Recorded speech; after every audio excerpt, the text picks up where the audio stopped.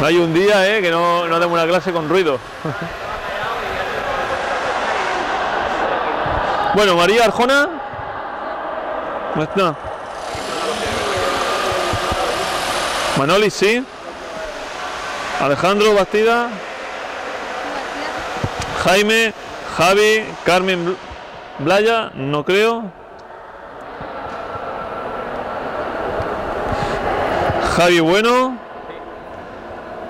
Lázaro, Lázaro, Lázaro, Lázaro. Vicente, Pablo Caparrós, si estaba por aquí. Alejandro Celdrán.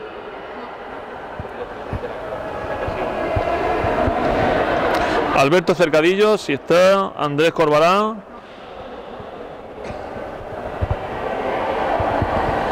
Juan Dorda, sí, Cristina, Laura, José López, también. David Manzano, Josemi. Pedro Nicolás. Pedro.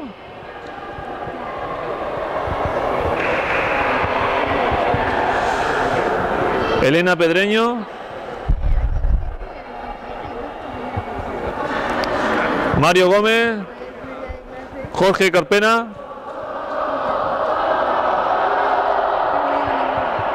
Y Patri y Fran tampoco. Mejor viene más tarde. Bueno.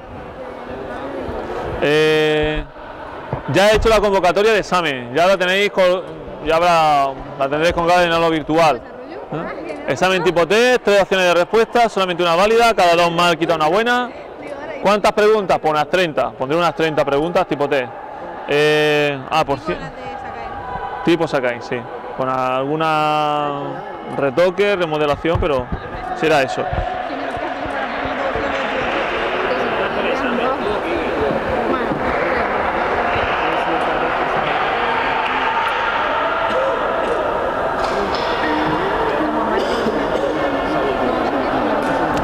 Nada, aquí no hay ningún problema.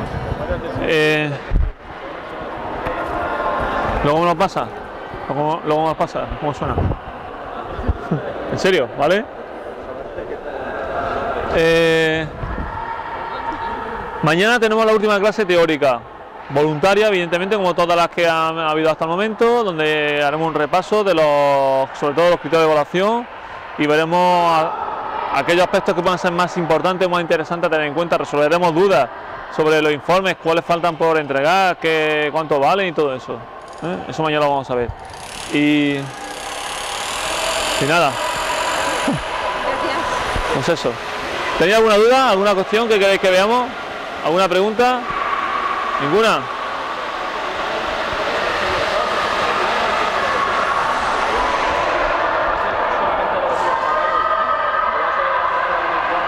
Solo lo que suba Sakai, que ya tenéis bastante. Yo creo que ya con lo que hay en Sakai tenéis eso.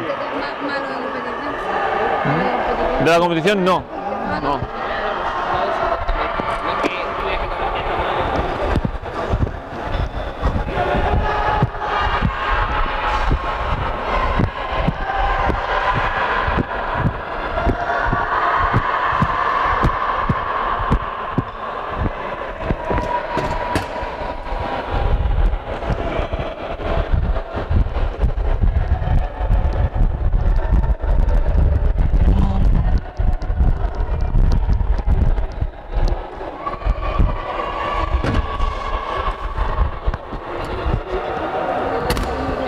Bueno,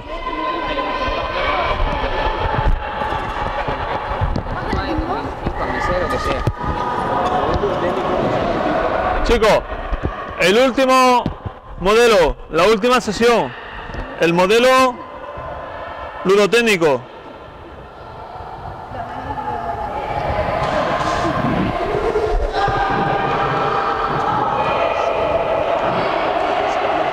Surge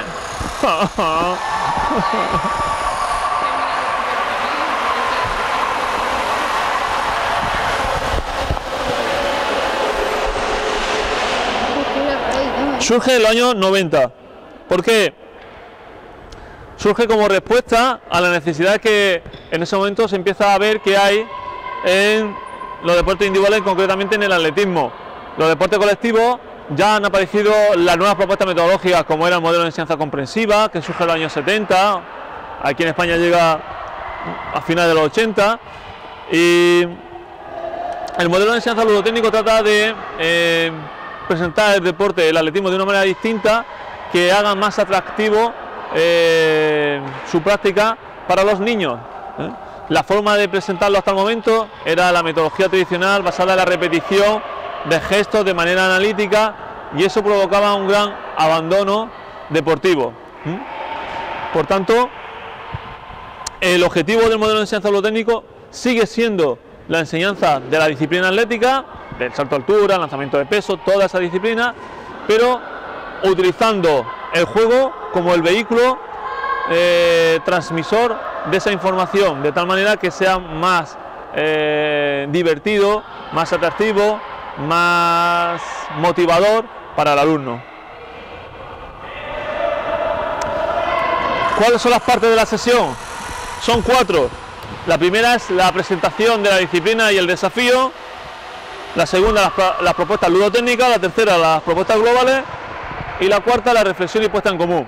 ¿Qué se hace en la primera parte de la sesión? Pues lo normal que se hace en la primera parte de la sesión es decir, em, cuáles son las fases del gesto técnico, pues del salto a altura, pues la carrera, la batida, el vuelo y la caída, y cuál de ellas se va a trabajar en esa sesión. Antes de pasar a la segunda parte de la propuesta ludotécnica, se lanza una pregunta, desafío, con la intención de que el alumno esté comprometido cognitivamente con la, con la sesión o con el contenido y al final trate de darle respuesta. La pregunta desafío tiene que estar relacionada con eh, algún elemento que se va a trabajar durante la sesión para que el alumno sea capaz de dar respuesta con la propia práctica que está realizando. La segunda parte, las propuestas ludotécnicas. Las propuestas ludotécnicas son juegos, se utilizan juegos populares, tradicionales, alternativos, que se han modificado y se le ha incluido una regla técnica que hace referencia al gesto técnico que queremos que se aprenda. Las propuestas globales suelen ser un juego, suele ser una competición. Es eh, la disciplina atlética que queremos aprender hacemos una pequeña competición con esa disciplina atlética de una manera adaptada. Por ejemplo, salto a altura, pues se hace al final una pequeña competición de salto altura. Pero en lugar de que cada deportista tiene tres intentos en cada altura, pues por ejemplo se dice, bueno, pues tenéis dos intentos en global y vosotros elegís la altura. De esta manera que se adapta. O se hace una competición por equipos. O nos inventamos modificaciones. Pero se busca que se realice el gesto de manera global. Y lo más sencillo es con una competición adaptada para ellos. Y por último, la reflexión y puesta en común, lo que hacemos es repasar las fases del gesto técnico que estamos aprendiendo y especialmente si pueden ser los alumnos los que lo digan mejor que, que, que sean ellos que lo haga el profesor. Se le pregunta cuáles son las actividades, los juegos que más le han gustado y los que creen que, que son, no son tan buenos y eso va a permitir al profesor también tener una evaluación de la sesión para modificarla, eh, para modificar la, siguiente o saber en qué línea debe ir trabajando y se le da respuesta a la pregunta de desafío. ¿Vale? En la primera sesión, a diferencia del resto, en la primera parte, además de hacerle la pregunta de desafío y además de explicarle cuáles son las fases del gesto técnico, se hace una detección de las ideas previas. El profesor le pregunta a los alumnos qué saben acerca de la disciplina que van a aprender. O por ejemplo del salto a altura. ¿Sabéis cuál es el récord del salto altura? ¿Conocéis algún saltador famoso? Eh, eh, ¿Qué más? ¿Habéis practicado alguna vez salto a altura? De tal manera que el profesor sepa también qué saben los alumnos acerca del salto a altura. ¿Mm? Y eh, en la primera parte también se suele hacer un ejemplo de cómo sería el salto a altura, para que los alumnos tengan una idea visual y global de cómo se hace el salto a altura. Pues eso es lo que nosotros vamos a hacer hoy. No hay ningún compañero que tenga la sesión preparada, ¿verdad? De salto de, de enseñanza ludotécnica, ¿verdad? Pues nada, no os preocupéis porque yo se la tengo preparada. Hoy he elegido una sesión adaptada a un espacio cerrado como es este, una pista polideportiva, porque una de las características que tiene la enseñanza ludotécnica es que no es necesario utilizar una pista de atletismo. Nosotros hoy lo vamos a poner en práctica precisamente porque tenemos este espacio cerrado y además que está lloviendo fuera, o sea que es que aunque quisiéramos, no podríamos, ¿vale? No sería lo más recomendable.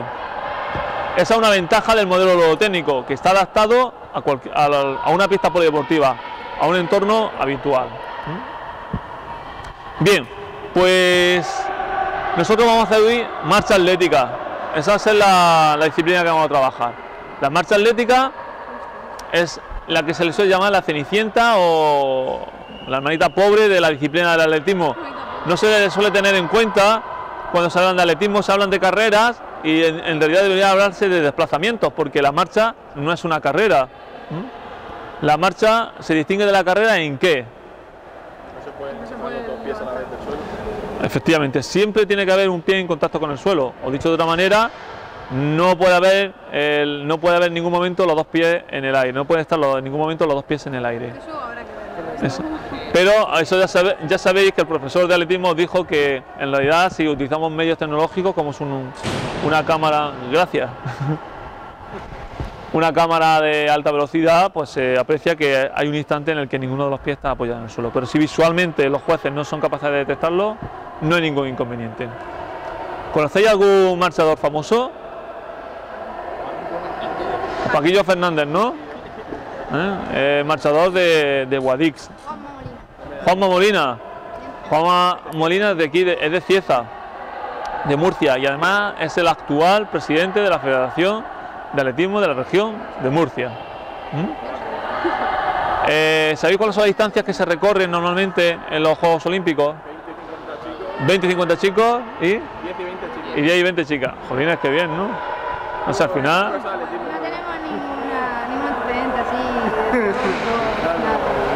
¿Antecedentes? Porque, no, sí, básicamente lo tenemos innato. Oye, ¿por qué? Yo le hacía la pregunta a otros compañeros, ¿por qué hay tantos marchadores que son de Cieza?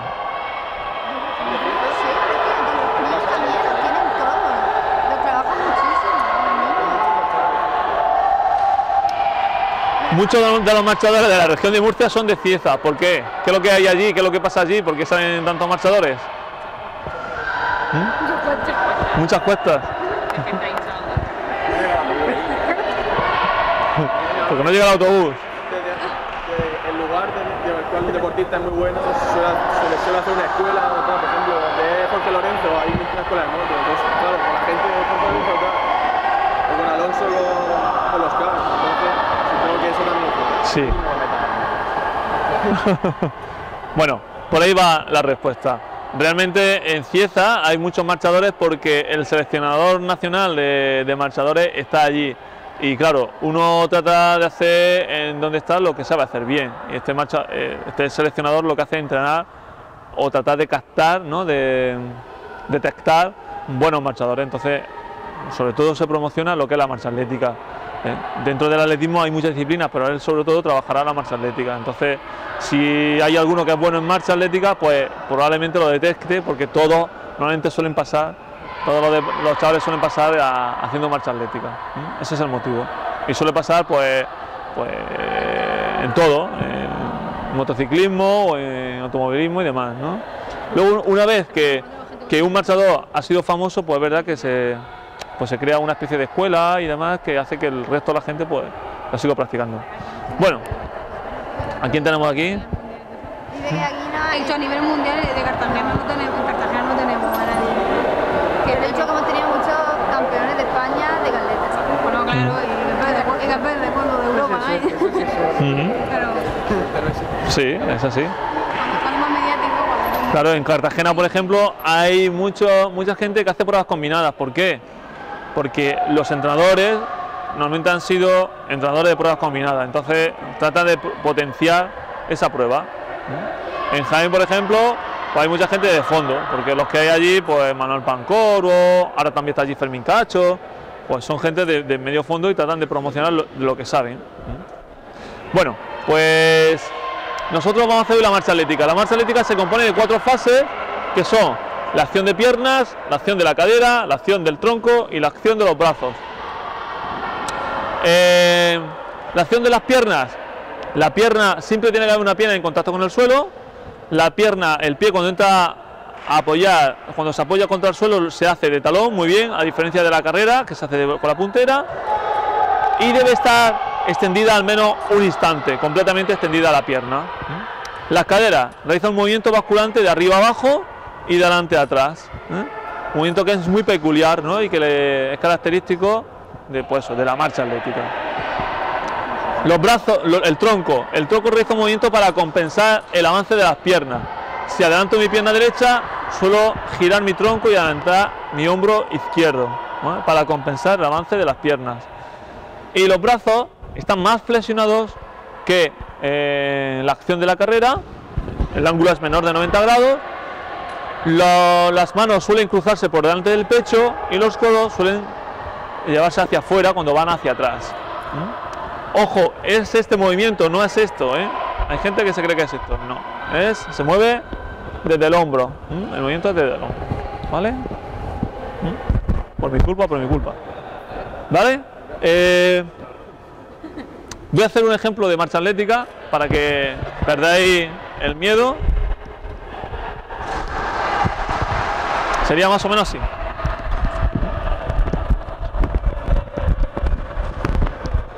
Para allá.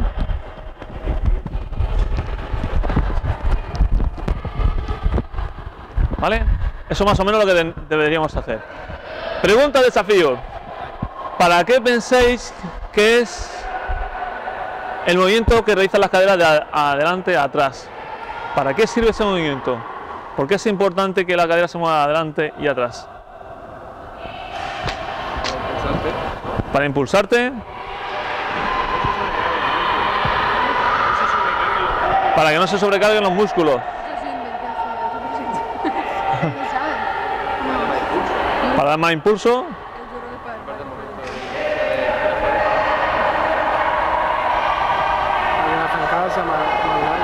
Para que la zancada sea más larga. Eso te desgasta un montón. Sí, puede ser. Creo que desga- que desgasta un montón. Bueno, pues ahora con la práctica vamos a tratar de, de dar respuesta a la pregunta y de comprobar si vuestras hipótesis, ¿no? Entonces, tengo una hipótesis. ¿La habéis visto eso en los dibujos animados? ¿Sí? ¿No? ¿La habéis visto o no? ¿Sabéis los, los dibujos a los que me refiero? Hay unos dibujos donde hay un, hay un, un dinosaurio que dice, tengo una hipótesis. ¿No? Y lanza la hipótesis como aquí, ¿no? Habéis lanzado vosotros la hipótesis y ahora vamos a ver. ¿Sabéis cuál es o no? Es el Dino 3, me parece. bueno, venga. Pues nos ponemos en pie y comenzamos.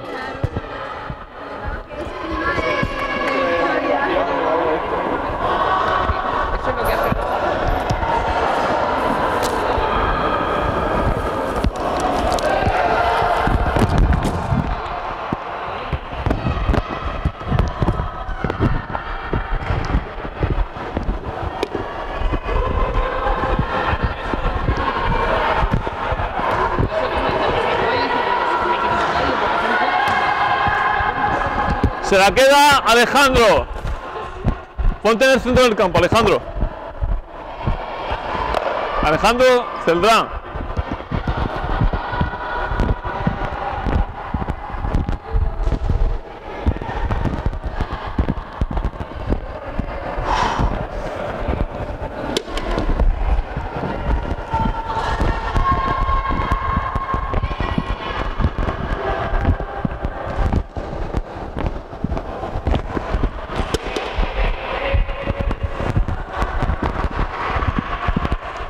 Bien, primer juego.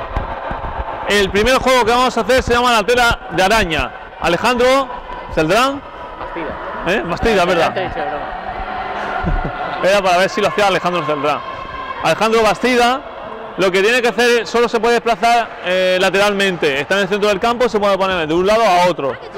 ¿Eh? La muralla. Entonces el resto, pero ninguno, ninguno podemos ir corriendo, todos tenemos que ir andando ¿eh? y entrando de talón con el pie. ¿De acuerdo? Ese es el objetivo. Y, y desplazándose, tú también, Yo también, sí. ¿Vale? pero me desplazo Tú te puedes desplazar como quieras, pero andando. andando. ¿Vale? sin correr. Pasando y conforme va pasando, pues vais quedando hasta que al final es complicadísimo poder pasar. Os ponéis allí eh, la línea azul, chicos, la línea azul. Bueno, ahí también, venga, vale, vale, bien, bien, bien, bien, perfecto. Variante, muy bien.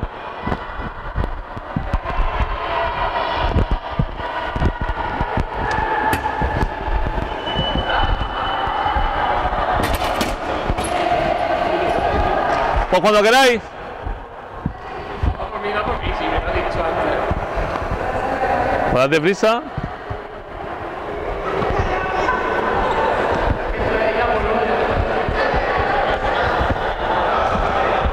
¿Están lesionados? Final, fíjate, ¿quiénes están aquí? Los que han jugado, los que han competido en la final de... ¿Nos las quedamos los dos? Sí, los dos, los dos. Sí. Se van a jugando, me cayeron dos pendrugos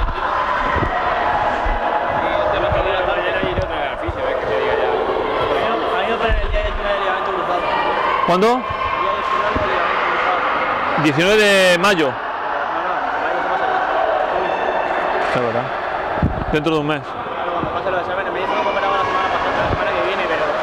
Ya, claro, espérate, porque ¿cuánto tiene, ¿cuántos días tiene de posoperatorio? ¿En el mismo día te sales sales ya? o? es que me dijo ayer gol, me dijo que... Ripoll. Ah, muy bien. Era Ripoll, no no me fío de otro. Eh, entonces me vio, me tocó, me el menisco roto seguro. O sea, sin ver la resonancia dice, tienes el menisco roto seguro. Dice, y tengo sospecha de que este ligamento cruzado roto. Lo que nunca me habían dicho, que solo era menisco. Dice, y, pues, sí, y tengo sospecha de que este ligamento cruzado. A ver la resonancia y tal, tal, tal, tal, tal, y dice, la semana que viene te operamos. Digo, pide exámenes, tal. Me dice, ¿cuándo te envían los exámenes? Digo, el 14. Dice, el 19. Y el 19 a las 8 de la mañana estar allí. Ya me, me hizo firmar como que me va a operar de ligamento cruzado. Si me opera luego solo de menisco. es lo que me llevo. Si es ligamento cruzado, te va a pasar dos días en el hospital. Si es menisco, el mismo día o al día siguiente estoy fuera. Sí, un amigo mío lo operaron, el Ripoll este, la clínica de doctor Ripoll. Mi padre y... Genial, pues eso está muy bien. Luego te hace además, allí tiene una, unas máquinas para el tema de la sangre, recuperarte, no sé qué, sí, todo eso. Muy bien. Entonces, depende. Y luego, menisco son dos meses y el ligamento cruzado son seis. Ojalá que sea nada más que el menisco.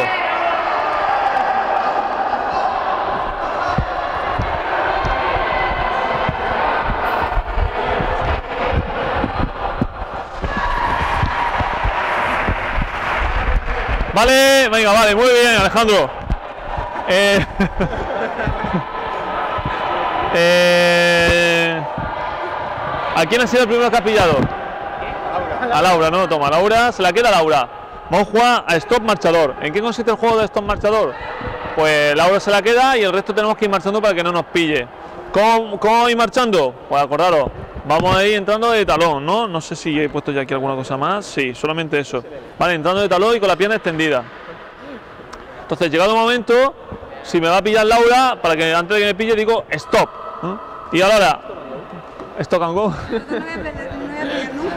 Probablemente. No, es broma. También vale. No, he traído más, he traído más cuerdas para dársela a otro para que te ayude. Cristina, stop o callar. Calla. Pues si pillo, pi- pilla de niño, ¿no? Ya. Si lo pilla, le pasa la cuerda y tú ya te olvidas. Vale, Como Pilato. vale. y ahora, eh, ¿qué tenemos que hacer? Cuando, cuando digamos stop, nos tenemos que adoptar una posición que también te puede servir a ti para ayudarte. El- hay que quedarse con una pierna adelantada y apoyada del talón, ¿vale? Y el brazo contrario adelantado. Si no están así, Laura, le dices que se la queda porque no, no tiene la pierna extendida, o no tiene el talón apoyado, o no tiene el brazo contrario adelantado. ¿De acuerdo? ¿Vale? ¿Mm? Y entonces, ¿cómo nos liberamos? Pues simplemente un compañero nos toca y ya nos hemos liberado. ¿Vale? ¿A quién quieres, ¿Con quién quieres compartir la experiencia? La maravillosa experiencia. Con David, por ejemplo, que está súper atento y pendiente de lo que estamos haciendo. No, se estaba escuchando de verdad. Sí, sí. Y yo también te estaba escuchando a hay, que ti. hay que decir esto. Sí, yo también estaba atento y te estaba escuchando. Sí, pero que. Venga. Habéis traído los apuntes? No, lo digo por si to- podíais hacer las preguntas tipo T y las subía luego al aula virtual y os servía de repaso. Lo que queráis. Yo pensaba ponerme con el trabajo, terminar el trabajo de tecnología, ¿no? A ver.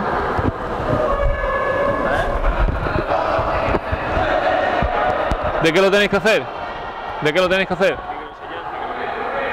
Hemos grabado ya y o sea, está todo, nada más que falta Hacer el montaje, ¿no? eh, los detalles.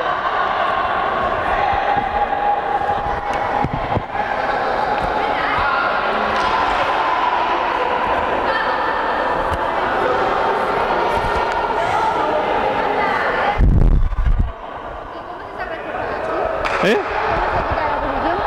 Pues al que le toque ya está.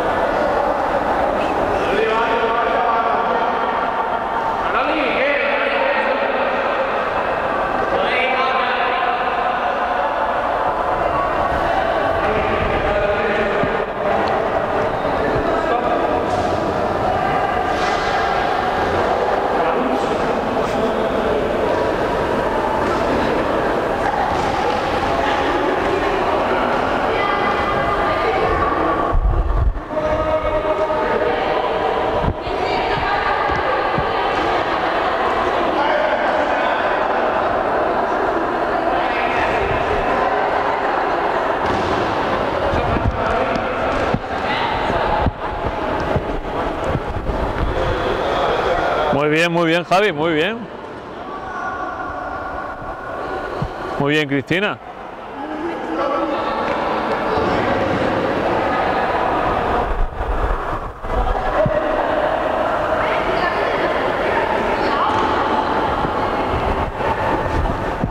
Vale, paramos.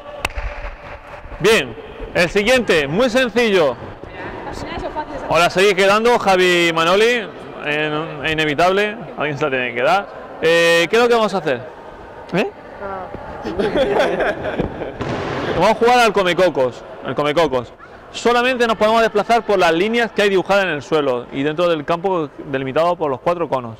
Eh, los que se la quedan llevan la cuerda y los que no se la quedan pues van a intentar que no se, se la sigan sin quedar. Pero solamente os podéis desplazar por las líneas. Si veis a un compañero que no va por la línea, le decís directamente que se la queda y punto. Los que vais por la línea, ¿en qué eh, ¿dónde tenéis que centrar la atención? Vamos a centrar la atención, por un lado, en pisar solo sobre la línea ¿eh? y andando en línea recta. Y la segunda es los brazos. ¿Cómo hay que llevar los brazos? ¿Eh? Acordaros de los brazos. Un error muy habitual en la iniciación es hacer este movimiento. Pues tú lo ves y dices, "Ah, pues lo estoy cruzando, pues lo estoy cruzando, pues lo estoy cruzando. Pero es que por detrás lo estoy extendiendo.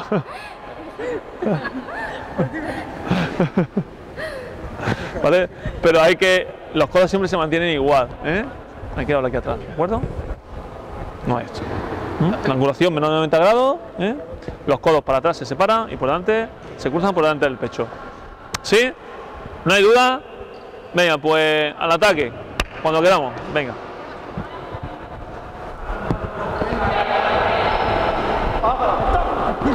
No, no, ya no hay stop. Ya es correcto lo que pueda.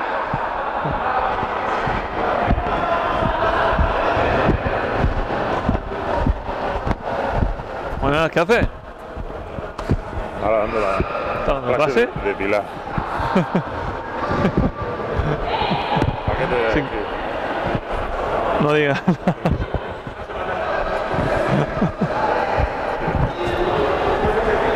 Venga, luego hablamos.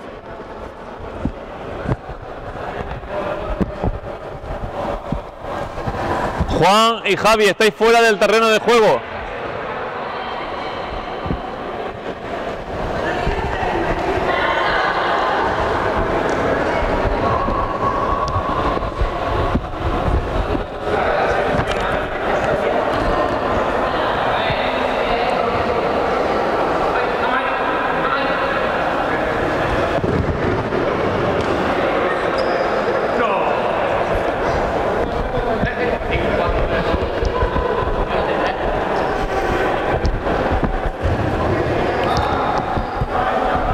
Vale, paramos, paramos, acercaros.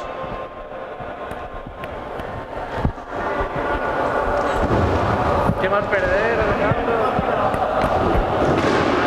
¿Qué vamos a hacer ahora? Vamos a hacer el juego del el, el marchador equilibrista o el equilibrista.